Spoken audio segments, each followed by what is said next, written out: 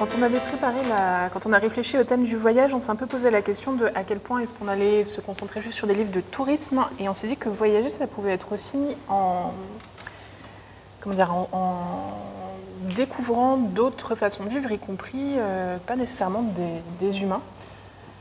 Et, euh, et, donc oui, de voyager, mais au cœur de la nature. Donc on peut, on peut y aller, euh, on peut bivouaquer, on peut y aller en, camping, et on peut aussi lire des livres sur le, pour vraiment découvrir la vie, euh, la vie au cœur de la nature. Et du coup, je vous laisse plutôt la parole, c'est plutôt, plutôt les vôtres pour. il y a les arbres, les éloges des oiseaux de passage. J'ai tout ça aussi. Alors je vais vous présenter, c'est un grand coup de cœur celui-là, aux éditions euh, Terre Vivante, par des arbres. Il est très richement illustré. Et dès le départ, en fait, on va voyager à travers euh, les différentes forêts du monde. Donc il y a la forêt de Sherwood, la forêt de Noir.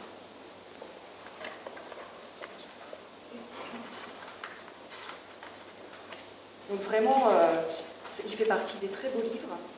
Euh, on se dit qu'il y a beaucoup d'informations, on ne va jamais arriver à tout lire. Et en fait, il se lit très bien. Il, euh, y a même un petit peu d'humour quand on, quand, on, quand, on le, quand, on, le, lit. pour moi, vraiment, pour les amoureux de la nature, on peut le lire, voilà, à lire vraiment sans modération. Et effectivement, il y a énormément de thématiques.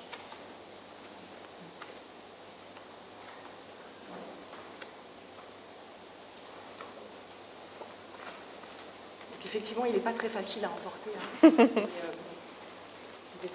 Hein. C'est voyager depuis le canapé. Exactement. Voilà, c'est ça. Éloge des oiseaux de passage aux éditions Équateur.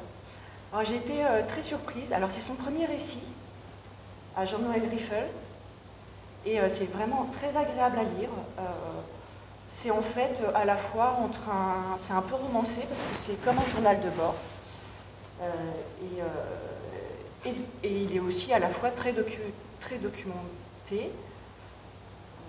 Et en fait, euh, dès les premières pages, en fait, on a l'impression d'être avec lui et d'observer les oiseaux.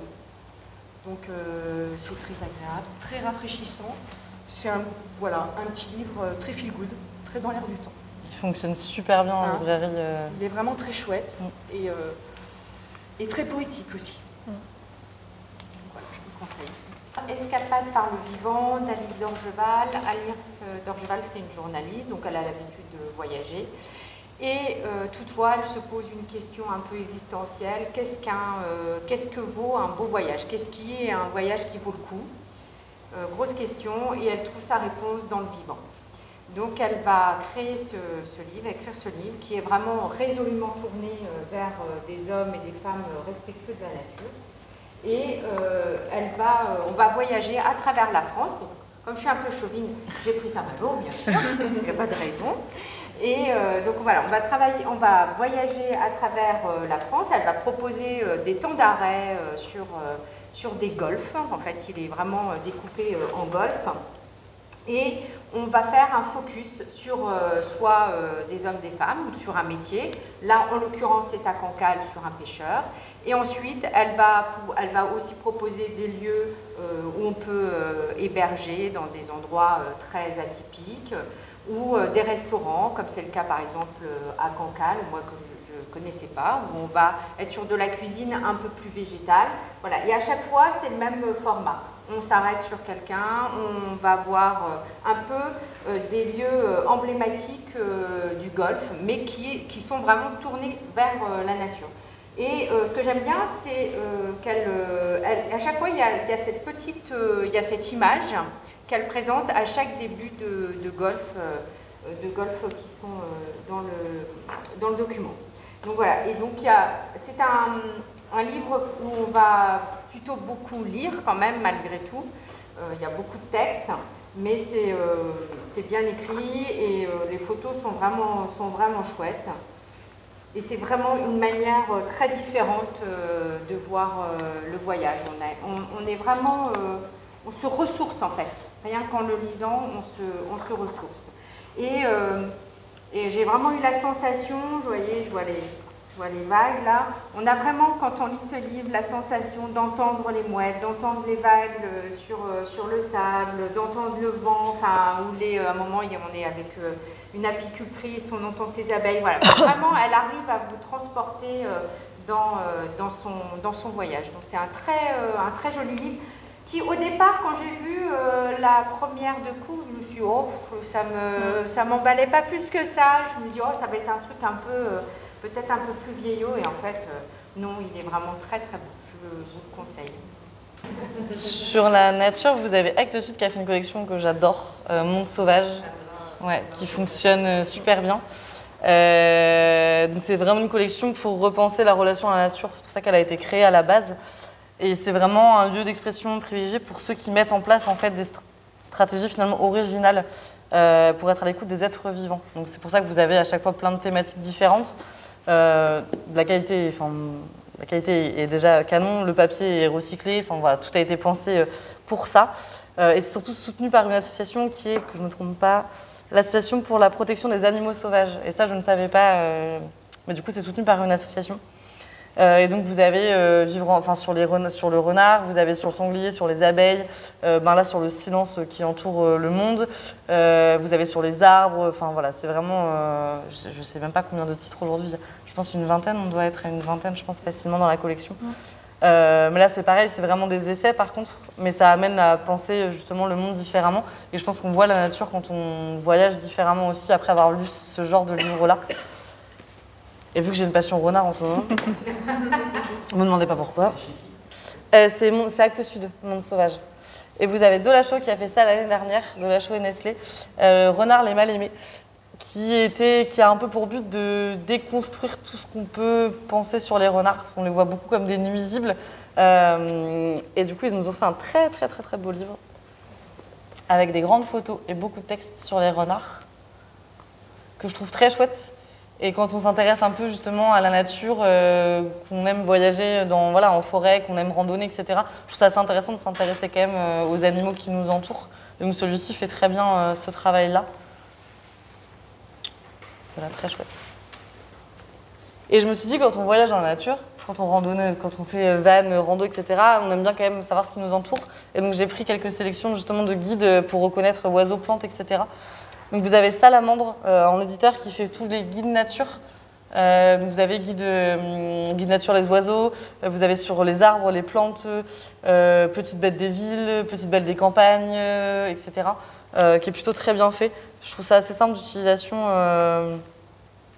Voilà, avec les photos à chaque fois des oiseaux. Et un petit texte, vraiment petit pour le coup. Il n'y a pas. C'est pas très poussé, mais du coup, ça suffit quand on commence juste à s'intéresser euh, à reconnaître les oiseaux. Hop. Et vous avez une mère qui a fait ça, que je trouve très très très beau, qui pèse un peu son poids. C'est pas très pratique, mais. Euh, hop. Et donc là, c'est sur les plantes. Et du coup, c'est en illustration, pas en photo. Euh, et il précise dedans si c'est des plantes comestibles, plantes dangereuses ou pas, ce qu'on peut en faire aussi. Donc je trouvais ça assez intéressant parce que vous avez plein de guides, notamment vous en aviez, je crois, un guide sur les plantes comestibles qui est toujours intéressant quand on part en randonnée à la journée ou autre, et sur les plantes médicinales aussi qui peut nous permettre de nous soigner, je sais pas si on se fait piquer par un moustique ou une abeille ou un truc. Donc tous ces guides-là sont quand même très bien faits. Et je me suis dit, ça c'est quand même très pratique à emmener. First a fait toute une petite collection. Et donc là, j'ai pris plantes sauvages comestibles. Vous avez fleurs sauvages comestibles, vous avez sur les champignons, vous avez sur les oiseaux. Euh, voilà, ils ont vraiment fait euh, sur plein de, plein de sujets, plein de thématiques. Et là, c'est tout petit, donc on peut l'emmener partout. Et c'est hyper pratique. Donc c'est vraiment une fleur, une plante par page, enfin par double page, avec euh, l'illustration et du coup les, les caractéristiques attraits à cette plante. et donc là, vu que c'est comestible, vous avez tout un petit truc en cuisine de comment est-ce qu'on peut la cuisiner derrière c'est assez pratique à emmener. Et ça, j'ai trouvé ça drôle. Euh, vous nous aviez demandé, mais je trouvais très drôle aussi. Le petit guide des oiseaux à la con, euh, chez EPA. Hop. Et donc là, c'est vraiment humoristique. Hein. La façon dont il décrit les animaux est très humoristique. Donc c'est pareil, ça peut être un guide à emmener euh, lorsqu'on randonne en forêt ou, dans la nature. mais ça peut aussi être juste un truc très drôle à lire à la maison autour des petits oiseaux à la con. Voilà. Et je trouve que les illustrations sont quand même très très jolies en plus. Il y a de la recherche derrière l'illustration, c'est pas juste. Euh...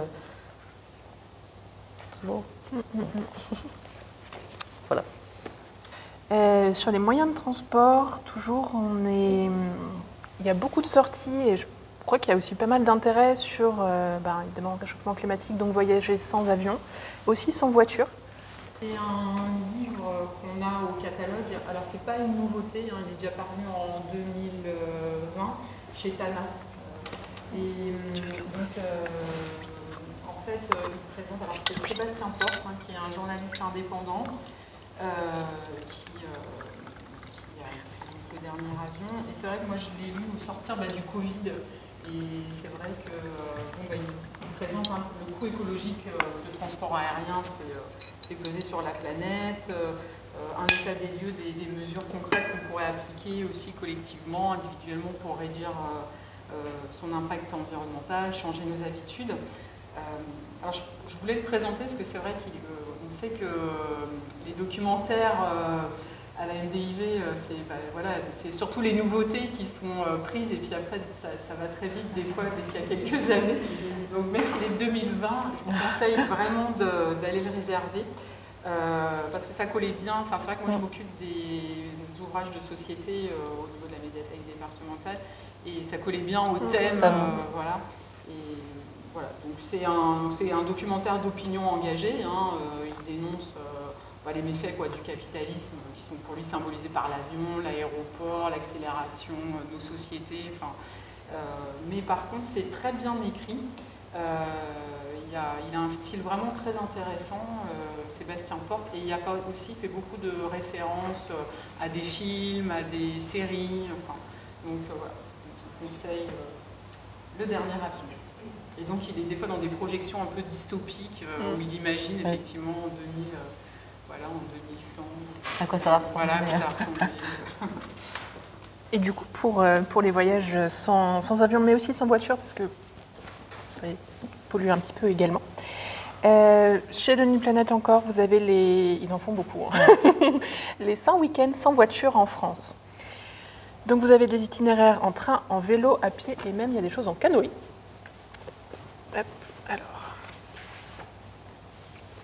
Par exemple, pareil, des illustrations des itinéraires détaillés. Un petit carnet pratique avec comment s'y rendre, où se loger, qu'est-ce qu'on fait du vélo, quand- où, enfin, où est-ce qu'on le, où est-ce qu'on le loue. Le il y a aussi des petits, euh, des, petits, des petites infos en plus, un petit, euh, un petit focus à chaque fois. Donc là, on était faire le plein de couleurs à vélo dans le Luberon et on a un focus du coup sur les ocres du Luberon, qui est un pigment minéral naturel utilisé depuis la préhistoire. Je ne vais pas vous lire tout, mais c'est magnifique ça, les euh. C'est très très beau. Et vous avez également une petite section plus de temps qui vous propose donc, euh, vous avez l'itinéraire de base, mais si vous voulez mettre un petit peu plus de temps, vous avez de quoi prolonger le, l'itinéraire. Exactement. Là, vous avez la Provence. Voilà, le genre qui est, bien fait pour changer un peu de, juste prendre l'autoroute. Et l'autre possibilité, ça va être euh, de voyager en train. Donc là, on est à nouveau chez Voyage Gallimard, qui est une euh, très très chouette collection. Ils font vraiment de très beaux livres. Euh, elle a été créée en 2019, cette collection-là. L'idée, c'était vraiment de promouvoir une autre façon de voyager. C'est vraiment l'objectif de la maison d'édition. C'est une collection qui est, c'est des albums entre le guide et le beau livre. On est à mi-chemin entre les deux. Celui-là, je l'aime beaucoup. C'est sur le train, 32 itinéraires pour voyager autrement. On est en Europe. Euh, à savoir, je crois qu'il va y avoir une prochaine version, mais pas avant, euh, pas avant la rentrée. Surtout que le train, ça, commence à faire un carton. Ouais. Autre que le van, le train commence vraiment à prendre une place prédominante en fait dans les voyages. euh, en a beaucoup qui font tout en train finalement, qui partent de France, qui font l'Italie, qui font plein de Mm. points comme ça. euh. Donc ouais, c'est. Là, ça vous propose. euh, j'ai, du mal à choisir lequel euh, me fait le plus envie, mais je crois que c'était celui sur. euh, je ne sais plus. En fait, ils font tous très, très, très envie. Là, vous avez la Slovénie, par exemple, avec un passage par la Suisse. Donc, vous avez tout le trajet. Et ouais, ils vous proposent vraiment de- d'envisager le, le trajet comme faisant partie du voyage. C'est ça, C'est ouais. vraiment la particularité de ce guide-là. C'est plus les 10 heures de voiture qui. Voilà. 40 degrés sur l'autoroute avec les bouchons qui. Donc il est très joli, il est très illustré. Et un autre point que j'aime bien, euh, là c'est les adresses. Vous avez un petit encart avec à lire, à écouter, donc pour préparer ou pour... euh, ouais, ça- ouais, je trouve ça très très chouette. Euh, et donc oui, pour la petite histoire, j'avais fait une, euh, enfin, une formation de présentation avec entre autres euh, euh, quelqu'un de chez Gallimard Voyage. Donc ça, c'était la maison d'édition qui nous qui nous présentait aux libraires les- leurs collections. Et euh, donc la personne qui s'en occupe euh, raconte que euh, a testé un, trajet. Elle est allée en Sicile en train.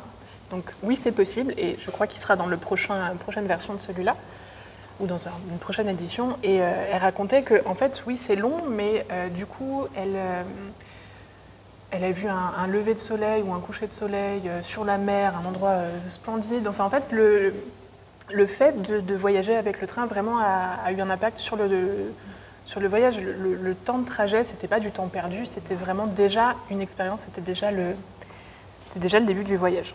Que, ouais, tu regardes par la vitre, tu as le temps Ouais. de lire, tu as le temps de. enfin, c'est rien à voir. en Ce qu'elle disait, c'est que c'est le seul moyen de transport où on a la possibilité de regarder le paysage tranquillement.